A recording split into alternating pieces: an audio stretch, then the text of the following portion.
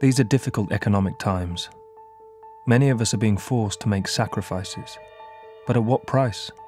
Right now, the livelihoods and pensions of public sector employees are under threat. People working in our schools, driving our ambulances, taking care of our parks. The government will tell you these attacks are fair, that these pensions are gold plated. We believe it's time to wave goodbye to the fictional spin and say hello to the facts. In November, Unite commissioned a telephone survey to find out what people really think. People from across the UK, in all walks of life. Here's what we found. It's a little different to what the government is telling you. Aside from basic salary, what's the most important benefit an employer can offer? 66% said that pensions were the most important, and over half were using a pension scheme to save for their retirement.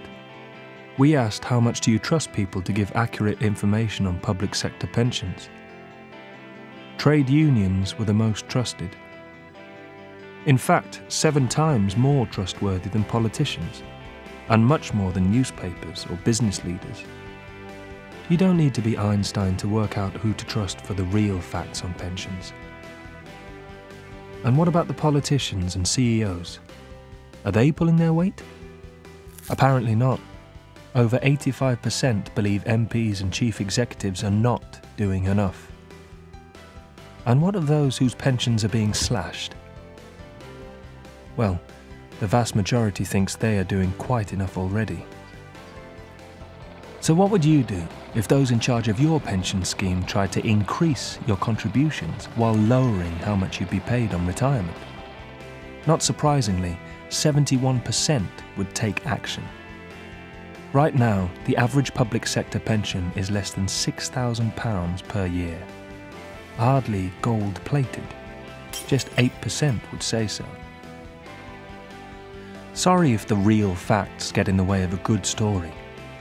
But contrary to the dossier of hypocrisy spouted by politicians, the British public supports our nurses, ambulance staff, and refuse collectors. We are winning the argument by simply telling the truth. The majority of people said that they would take action on pensions. Be assured that on November the 30th, public sector workers won't be alone. We are the 99%. Text your message of support on free text 86888.